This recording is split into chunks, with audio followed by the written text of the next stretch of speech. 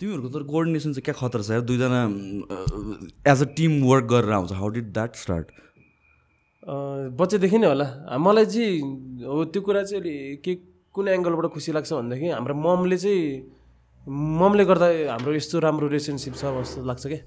ममले गर्दा पनि हो अनि आदि हामीले पनि हो। हामीले पनि अब दाजुभाइ भन्ने खालको त्यो फिलिङ नभएको भए त होइन?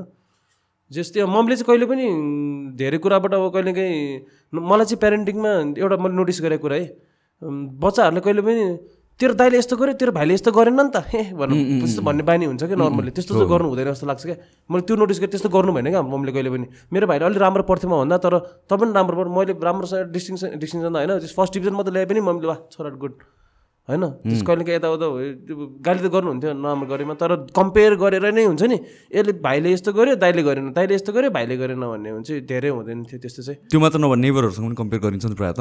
अरूसँग त बाले भएन नि। इट्स भन्नाले अरूसँग त कम्पेयर त अब खास कम्पेयर गर्नु हुँदैन Compare- लाग्छ कि? सबैजना डिफ्रेन्ट हो नि त खासमा त। होइन कम्पेयर हुनु नै पऱ्यो नि। अब यु क्यान डिबेटै फेरि। कम्पेयर नगरौँ है ल किन कम्पेयर गर्ने? सबैजना शान्ति बसौँ पिसफुली तिमी पनि राम्रो तर कम्पेयर गरेर नै नेपाल यहाँसम्म हाम्रो नेपाल होइन वर्ल्ड यहाँसम्म पुग्यो भने।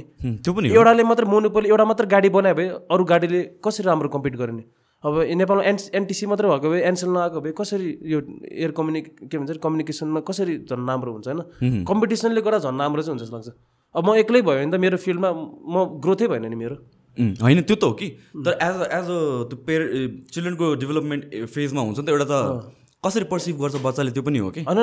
यस कसरी भनिन्छ होइन? कसरी पर्सिभ गर्ने? त्यो कुरा पनि एकदम इम्पोर्टेन्ट छ नि त। मोरल नै डाउन हुने गरिकन त गाली गरिदिनु भएन नि त। त्यो चाहिँ कहाँ कहाँ अलिअलि हुन्छ नि? त्यो ब्यालेन्स गेम हो नि त त्यो त है?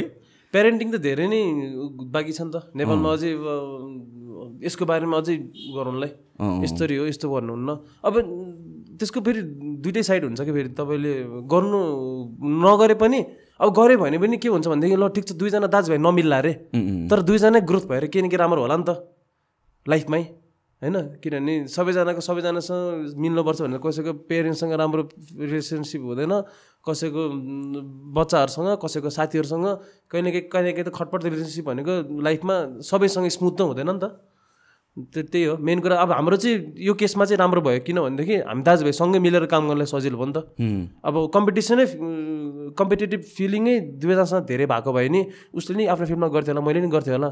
दुईजनाको राम्रो त हुन्थ्यो तर सँगै राम्रो हुनको लागि चाहिँ सकेसम्म। अब तपाईँको टिम मेम्बरसँग तपाईँ कम्पिट गरेर भएन नि त। त्यस्तै कुरा हो, क्या? definitely. बाहिरकोसँग त मतलब होइन। बाहिरसँग त कम्पिट गर्ने हो बाहिरकोसँग एउटा हुन्छ नि।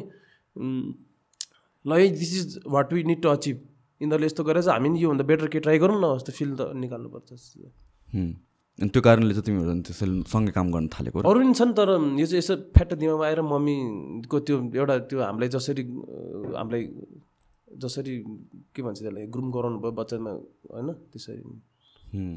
सो दुवैजनाले अनि के म्युजिकमा पनि दुवैजनासँगै नै हो र पहिलादेखि नै. पहिला मेरो सिनेमाटोग्राफर थियो सुरुमा भाइरल भइदिएदेखि लिएर फन्टास्टिकको भिडियो अनि अर्ली कार्टुन्सको डेजको भिडियोजहरू सबै उसले खिच्ने मैले डाइरेक्सन एडिट गर्ने हुन्थ्यो।